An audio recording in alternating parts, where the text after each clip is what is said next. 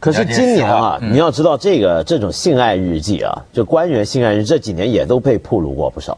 其实果然是有一些官员他真的有这个癖好，哎，因为他把它变成一个收集。嗯，就我收集了一些女人嘛，那么他等于记录下来呢，他是一个自己的战绩的一个记录。嗯嗯。那么也有一些这种日记。你看了什么书啊？你写了什么文章？哎，对，记录这些也曝光了。但是问题，这些记录曝光之后呢，我觉得这回这个反应大。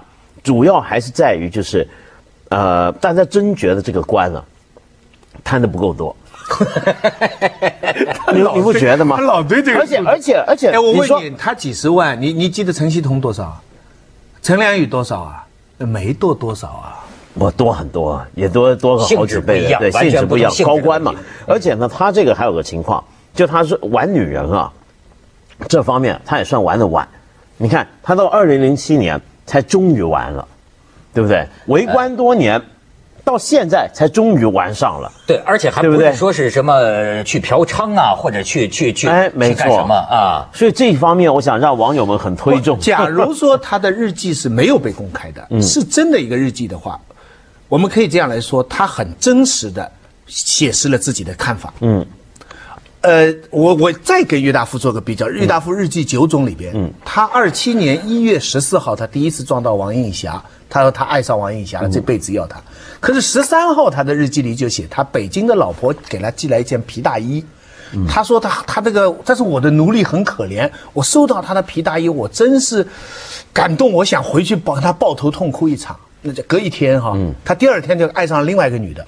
然后呢？过了两天追不上王映霞的时候，他就到四马路去找别的女的。嗯，找别的女的不做什么，一起抽鸦片，苦闷。啊，然后徐志摩又把什么表妹介绍给他。嗯，请记住哈，他一个文人，他把他对原老婆的这个恩爱，把他喜欢新的女人，把他去四马路的这个事情，全部记在他的日记上，说明他不觉得这个有什么错。嗯，他觉得一个人。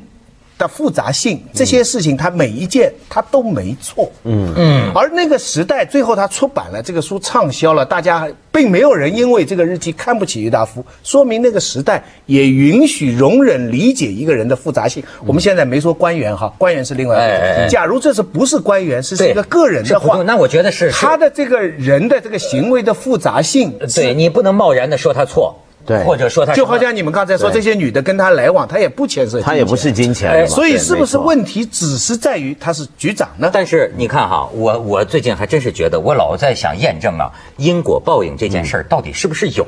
呃，但但是可以说是迷信啊。嗯。可是我老觉得吧。比如说，你按照一种某种非最开明的观点来看，两这就是我一向说的，两个成年人双方自愿，没有暴力、权力胁迫，对吧？那么那是他们的权利，他是有一个女的，两个女的。但是事实上，你发现，色字头上好像确实又有一把刀。